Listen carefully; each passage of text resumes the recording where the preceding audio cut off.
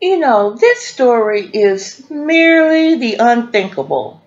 Uh, if you wouldn't see this with your own eyes, I don't think nobody would believe you if you told them this. You got a four year old child, baby, in his wonderful diaper, walking around upstairs pointing a loaded gun at people while his father is in the house asleep.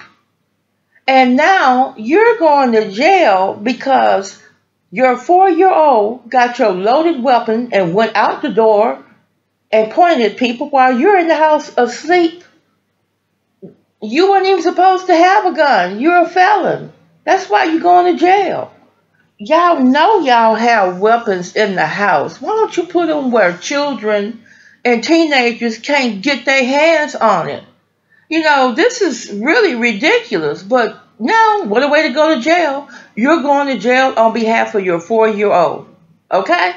And you being stupid for not putting your weapon in a place where that four year old hands couldn't get it. Here goes the rest of the story. Y'all can do better down there. Just do better. Damn. Put your guns away.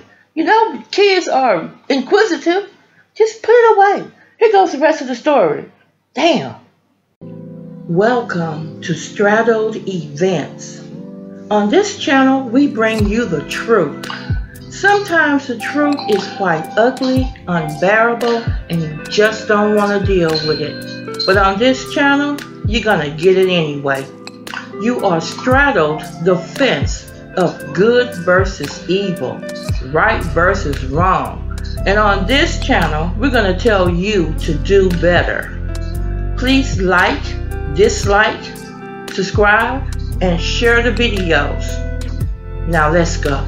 Morning, a four-year-old playing with a loaded weapon, waving it around inside of an Indiana apartment complex. So this was all broadcast during a, a, television show that follows police officers. Well, now the father of the young child is facing neglect charges.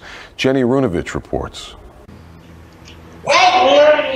Viewers nationwide saw these disturbing images in real time. It, it's almost uh, incomprehensible what you're watching. A diaper clad four year old captured on a security camera playing with a loaded gun, waving around the weapon, pulling the trigger. And he just kept pow pow, pow pow. I don't know how you can't watch that video, parent or non parent, and not be, be shocked and disturbed. Oh, I can't. You can't. You can't unsee it. Nicole Summers called 911 and brought police to Beech Meadow Apartments Saturday. She says the little boy pointed the pistol at her son. Then she saw it too. And he was standing in the middle of the hallway and he just kind of was holding it behind his back. And I thought, like that's a real gun. I'm Dan Abrams and we are on patrol live. What happened next all played out on live TV. A docu-series featuring Beech Grove police was rolling as officers confronted the child's father. Shane Osborne told police he was sick, had been sleeping when his son got out. He denied having a gun in the home, saying he has previous felonies. Then officers found the weapon in the back of a desk.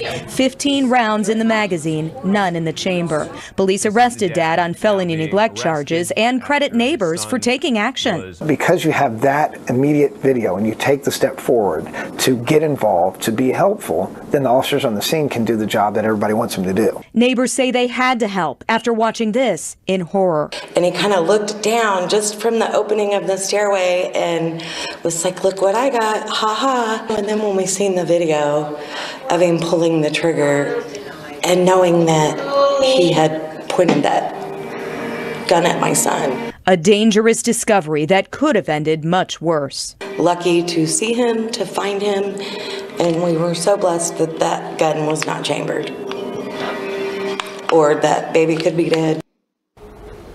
The child's father, Shane Osborne, is expected to make a court appearance today. Police say that he could face more charges since he already has a felony conviction.